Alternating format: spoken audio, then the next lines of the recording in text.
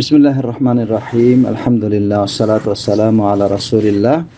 এক বোন প্রশ্ন লিখেছেন যে, চুরি হওয়া বা হারিয়ে যাওয়া সম্পদ সাদাকা হিসেবে গণ্য হয় বলে পড়েছিলাম।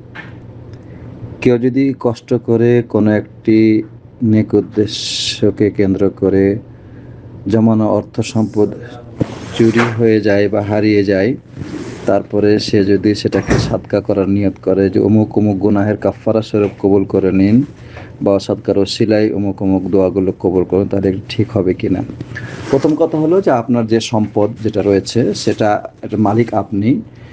তো এটা যদি কোনো ক্রমে চুরি হয়ে যায়, তাহলে আপনার জিম্মা ওই ব্যক্তির ঘাড়ে পড়ে গেল, অর্থাৎ তার কাছে আপনার অধিকার হয়ে গেল যে সে আপনাকে সেটা আদায় করবে। যদি এ দুনিয়াতে ফেরত দেয় তো সে বেঁচে যাবে পরকালে, আর যদি এ দুনিয়াতে ফেরত না দেয়, তাহলে পরকালে সে আপনাকে তার নেকি থেকে দিতে হবে, যেহেতু সে অন্যায়ভাবে এটাকে কুক্ষিগত করেছে। এখন যদি আপনি তাকে সেটা ক্ষমা করে দেন, তাহলে তাকে আপনি জিম্মা থেকে মুক্ত করে দিলেন, দায়িত্ব থেকে মুক্ত করে দিলেন। তো এই ক্ষমাটা এক প্রকার সাদাকা।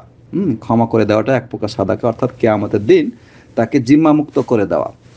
আর কোনো মানুষ যদি কোনো সম্পদ সাদাকা করে দেয়, তাহলে অবশ্যই সাদাকা তো এর ফজিলত যেটা আছে যে সাদাকা করলে মাল কমে না, সাদকার মাধ্যমে গুনা মাফ হয়, সাদকার মাধ্যমে বিপদাবদ দূর হয়, সাদকার মাধ্যমে কেয়ামতের দিন সাদকা আপনার ছায়া হিসেবে হাসরের মাঠে আপনাকে উপকার করবে। এভাবে মেলা উপকার যেগুলো রয়েছে, সেগুলি আপনি সবই এই সাদকা থেকে লাভ করবেন। অতএব এক্ষেত্রে কোনো অসুবিধা নাই যে আপনি নিয়ত করবেন হ্যাঁ যে